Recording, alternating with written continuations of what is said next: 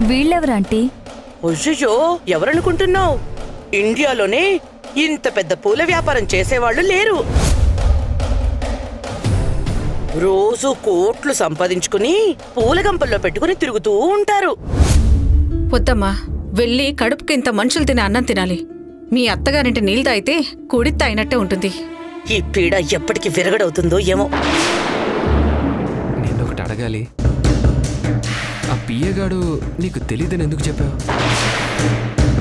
వాడు అన్నిసార్లు ఫోన్ చేసింది నీకేనా? అవును వాడి భార్య కాల్ చేసిందని చెప్పావు. అది నిజమేనా?